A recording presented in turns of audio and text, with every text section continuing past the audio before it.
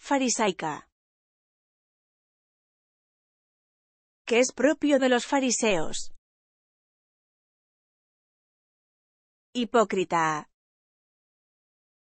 Suscríbete y dale a like para más videos.